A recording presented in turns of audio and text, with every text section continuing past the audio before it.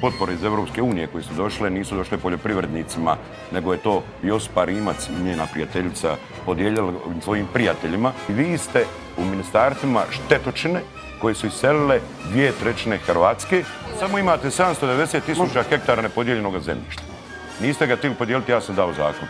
Niste htjeli zabraniti GMO, niste htjeli glifosat. Vi ste glasali protiv toga, nažalost i dio SDP-a. Ja ne glasujem, I ja suverenist, predlažem predstavnik suverenista je glasao protiv toga. Ministarstvo poljoprivrede pogoduje isključivo uvoznim lobijima na štetu, štetu domaće proizvodnje. Niste htjeli na krškim područjima dati potpore ljudima koji tu žive. Dobro. Nikad više nismo uvozili 3 milijarde kuna prehrambenih proizvoda, nikad manje nismo izvozili.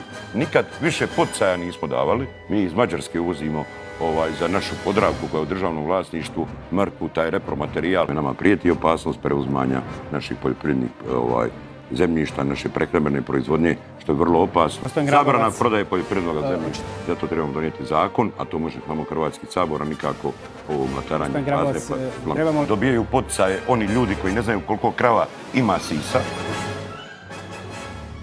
Baš zato. Most nezavisnih lista.